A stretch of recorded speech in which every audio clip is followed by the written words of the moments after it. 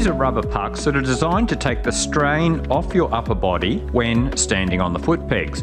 You adjust them until your boots are resting against the rubber pucks. The result? Much less arm pump, upper body fatigue, and upper body cramps. They can reduce leg fatigue as well, as you don't need to grip the bike as much with your lower legs. They have become increasingly popular with off road riders, especially desert racers. Toby Price uses them in races like the Finke Desert Race, so does Ben Grabham and a pile of other racers. A lot of enduro riders use them, especially for unfit or older riders who get a lot of upper body fatigue. I fall into the latter category. In my 60s, I increasingly have problems with pre arthritic fingers and carpal tunnel syndrome. These disappear once I use steg pegs. I use them on both my enduro and adventure bikes. If you are thinking of using steg pegs on an enduro bike, see our enduro version of this video. I want to focus on dual sport and adventure riders because steg pegs are now available in these categories as well. In 2024, they are available for the following bikes. If you are a dual sport or adventure rider, steg pegs are designed to work with your standard boot. If you use short boots, then the rubber pucks will press into your skin. Not very comfortable. Also, if you use over the boot pants, the rubber pucks could eventually wear through the fabric if you have cheap textile pants. I have Klim pants and no problems with wear after thousands of kilometres. What are the benefits of steg pegs? As already mentioned, there is much less pressure on your upper body.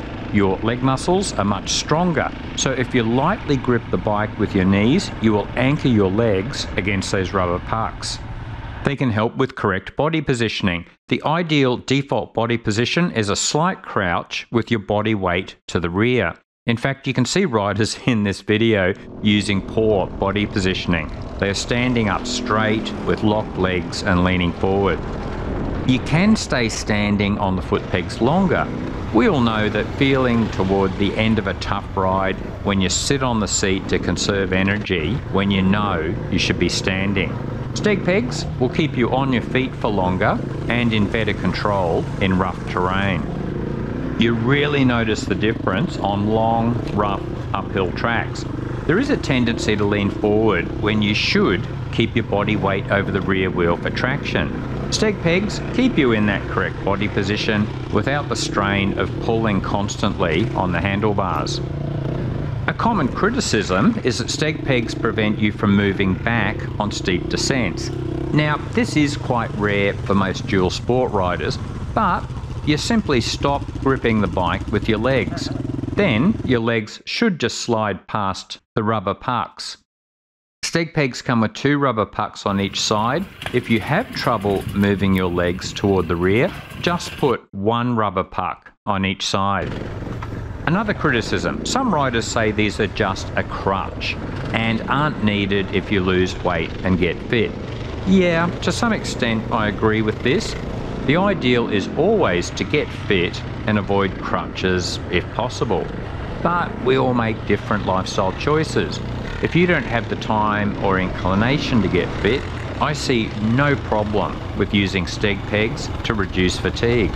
Also, this criticism often comes from much younger riders who don't have arthritis, tendonitis, and all sorts of health issues that start to emerge in your 50s and 60s. And occasionally I hear those riders say if you need crutches like steg pegs or a lighter clutch, you shouldn't be riding motorbikes at all. Ah, this kind of judgmental attitude really pisses me off. I know army veterans with upper body issues due to the sacrifices they have made. Try telling them they should stop riding. And there's no way I'm going to stop riding despite arthritis and carpal tunnel syndrome. I welcome anything that lets me enjoy my passion for longer. Recently, I was riding in Canada for several weeks with the Traction eRag crew. Most of the bikes did not have steg pegs. I did daily exercises to prepare for the trip, but man, I was still aching all over at the end of each day. Eventually, I had to sit on the seat most of the time to take the pressure off my arms. It surprised me just how much I now rely on steg pegs in my 60s. If you are thinking about buying steg pegs, I hope this video helps. Remember, try our tips for preventing arm pump, work on good riding technique, consider losing weight and getting fit, and if you still have a lot of upper body fatigue, then definitely consider buying some steg pegs.